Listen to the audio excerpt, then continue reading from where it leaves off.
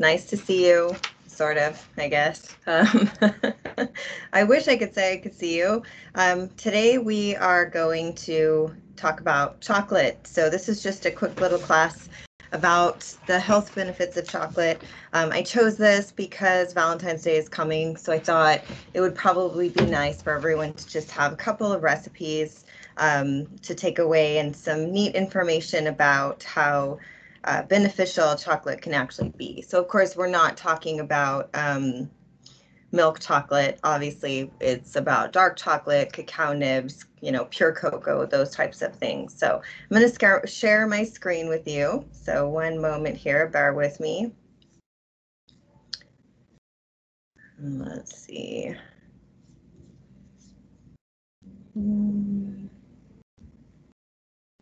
Here we go. All right, so here we are. We have our quick class, got chocolate. Of course, this um, class is not intended to diagnose, treat, or mitigate disease. Dietary supplements and foods can interact with prescription medications. If you're taking any prescription medications, um, become informed about the possible interactions, talk to your doctor, or better yet, talk to your pharmacist because it is their job to know these things. So we do have our five founding principles. We focus on nutrition education, which is me, and it's always free. Highest quality standards. Nothing gets in this store without passing a very extensive screening process. We keep our prices very affordable in comparison to our competitors. Uh, we support our local communities. Uh, we used to do it um, in person. Now, of course, um, we are trying to uh, do this virtually, and then great employees. So they take very good care of us here um, and have definitely shown that during this time. So why chocolate? How many people love chocolate? We all, most people do. I can't say we all do. My mother-in-law did not like it, uh, and I learned that the hard way. I bought it for her, and she said, didn't you know I don't like chocolate? So I never did that again. Um, human consumption took place 5,000 to 15,000 years ago. It was revered in Olmec, Mayan, and Aztec cultures and used as currency in Mexico until 1887. Uh, Milton Snavely Hershey opened his chocolate factory in 1888. By the early 1600s, the vogue for chocolate had swept across Europe. In London, chocolate houses began to rival coffee houses as social gathering spots, one shop opened on a Gracechurch Street in 1657, advertising chocolate as a West Indian drink, which cures and preserves the body of many diseases. That's good to know. You can't say stuff like that anymore. Um, in France, Madame de Sévigné wrote about enormous chocolate consumption throughout the court at Versailles in 1671. Louis and Madame du Barry were said to use chocolate mixed with amber to stimulate their lovers. And you can actually find amber and chocolate uh, perfume if you look online. I did uh, look into that. So chocolate contains high levels of free radical scavengers called flavonoids, and these are plant pigments responsible for many of the health benefits given by fruits and medicinal plants. The phytonutrients in chocolate are similar to those found in green tea, apples, red wine, pomegranate juice, and berries. Not only is chocolate rich in these flavonoids, but factors within the chocolate increase the absorption of these compounds. So it's actually thought that the healthy gut bacteria is essential for converting polyphenols in chocolate into absorbable, usable forms for the body.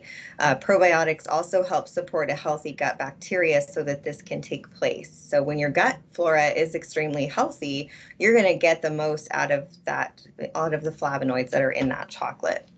Um, the antioxidant content of cocoa is two times greater than red wine, two to three times greater than green tea and four to five times greater than black tea. And that is, of course, per serving. Um, chocolate is considered the third highest contributor of antioxidants in the American diet. The average American consumes around one gram of polyphenols a day. A single 80 to 85 gram dark chocolate bar can contain upwards of 1.5 grams of polyphenols. So keep that in mind. You can get a, quite a bit of your polyphenols from chocolate from the dark chocolate alone. So what can chocolate do for you? It supports cardiovascular health, can support positive mood, stimulate the release of appetite suppressive hormones, Uh, the bioactive components of chocolate support cognitive function. Polyphenols in chocolate help the skin to age gracefully and protect the skin from UV rays. Health and happiness. It increases HDL cholesterol levels, so it increases the good stuff, protects LDL cholesterol from oxidation, promotes healthy endothelial function, supports healthy blood pressure, inflammation modulation. It also supports a positive mood. The biologically active components support the production of feel-good neurochemicals in the brain, such as dopamine and feel-good neurotransmitters in the periphery, such as endorphins. Other compounds in chocolate, such as methylxanthines, are powerful mood supportive compounds that act as mild stimulants um, it is milder than caffeine.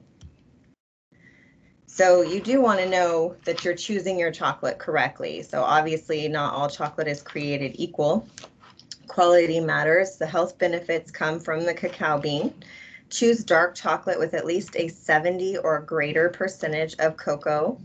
Added milk and sugar reduces its health benefits. So remember that not all chocolate is created equal. You get Hershey's Kisses, you're not getting that um, cacao benefit. Eliminate products containing artificial sugars, artificial flavors, and highly processed vegetable oils. Obviously, when we say artificial sugars, we're talking about aspartame or Splenda. We're not talking about stevia or monk fruit and some products contain very little or no cacao. Does anybody remember sixlets? I'm pretty sure sixlets, sixlets weren't even chocolate at all. Like they have a very weird taste, very weird texture. Um, I never believed that they were real chocolate. In fact, my mom always called them fake chocolate. So know your chocolate. Besides looking at the ingredient and nutrition facts for processing information, it's important to know how the chocolate was grown and harvested. Chocolate itself is usually made from more processed cacao, meaning if you really want to harness the best from the chocolate, you should try the least processed form of cacao, which is the cacao nibs. Um, I personally think those are very bitter, and I'm a chocolate fan in terms of when I want chocolate, I want something sweet. I don't want something bitter. But some people love the cacao nibs in yogurt and hot cereal. So I've heard all sorts of interesting ways that cacao nibs are used um, and people are very happy with them. They are very good for you. So throw them in a smoothie. If you don't like the taste, it'll just add to the health benefit of your smoothie or your hot cereal and make it better for you. So labels matter. You'll notice in our store, a lot of these labels are on our chocolate, especially. We have our Rainforest Alliance and our fair, fair trade certification. We're going to talk about what that means. Um, for a food that brings us happiness, the practice of growing chocolate can be quite dark. Some growers use practices that clear the rainforest and incorporate a large amount of pesticides and herbicides, which you know we are against because that's very bad for your body. Organic is an important seal to look for. Additionally, there's a huge human dignity component. So unregulated practices utilize child labor, um, forced slave labor, discrimination, and dangerous conditions. So when you see the Fair Trade Seal, you're seeing that it sets social standards and environmental standards. It's protecting the people, the chocolate, everything from these things happening. Um, protects prices paid to farmers, prohibits child labor and forced labor, prohibits discrimination, and protects the rights and wages of the workers. So there's no slave labor going on, no um, sweatshops, nothing of that when you see that fair trade symbol. Um, Rainforest Alliance keeps forests standing, curbs climate change, protects wildlife, alleviates poverty, and transforms business practices. So these are very, very important seals to have, and of course, organic and um, non-GMO. Remember, when it says organic, it's always non-GMO. So some add-in ideas of cacao is to mix the cacao powder in a protein smoothie, um, add cocoa nibs to your trail mix, nut butters or yogurt, try a Mexican mole negro, and add unsweetened cocoa powder to red chili. So there's a few ways that you can incorporate cacao to make your recipes um, more flavorful and uh, to eat with more intention, right, in the health field. So a small amount of dark chocolate or cocoa daily really does have a place in the healthy diet. Mental and physical benefits. Researchers have found chocolate can aid in memory, attention, problem solving, and alertness. These benefits have more to do with the stimulant, stimulants the food contains, uh, the, theobromine, uh, phenethylamine, and caffeine than its flavonoid content. So it's actually the stimulant that gives you these benefits. Um, just for comparison's sake, a one ounce piece of dark chocolate contains approximately 20 milligrams of caffeine compared to an eight ounce cup of coffee that can average between 60 to 120, depending on where you get it. So there isn't much caffeine, but it's enough to give someone a lift. So someone who isn't um, reliant on coffee on a regular basis may actually feel the stimulant from chocolate more than someone who is even a one a day coffee drinker. It's not going to be as um, as noticeable. The nutrients in cocoa have been found to reduce one's cardiovascular disease risk by limiting LDL cholesterol oxidation, decreasing inflammation, lowering blood pressure, and relaxing blood vessels.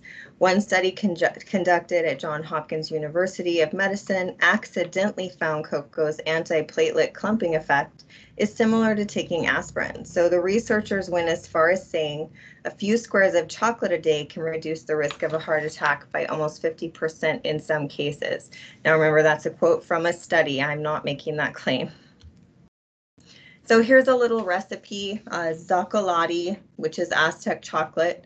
You have a cup of water, one to two pinches of chili powder or cayenne, one tablespoon of unsweetened cocoa powder, one teaspoon of vanilla extract. You combine everything in a blender um, until it's frothy and enjoy cold like the Aztecs or warm gently in a small saucepan. So you can drink it like hot chocolate or you can drink it cold. Um, if the drink is too bitter, add sweetener like stevia or honey. I would suggest stevia. Honey will raise blood sugar. So of course, if you come in here, we do have a cute little book nook. Um, we can't get we can't give these books away. We've put um, put a lot of them on sale.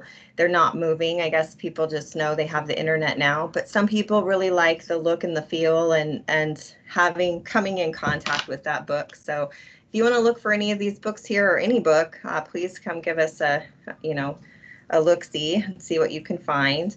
Um, we do have a couple of articles, chocolate and cocoa nibs, so if you want that information, feel free to come in.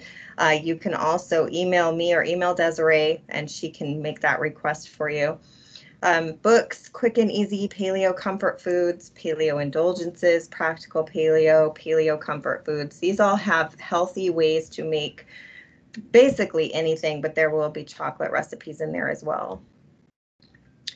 So I would ask if there are any questions. Obviously, you can't ask me, so do feel free to send any of your questions, concerns, or otherwise to Desiree, and I know that she will shoot them over to me. Um, but I really hope you enjoyed this quick little class about chocolate. I hope everyone's enjoying January and that you have a lovely February Valentine's Day, and um, we will have another presentation next month. You guys have a great month.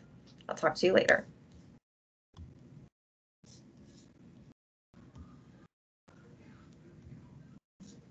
Bye.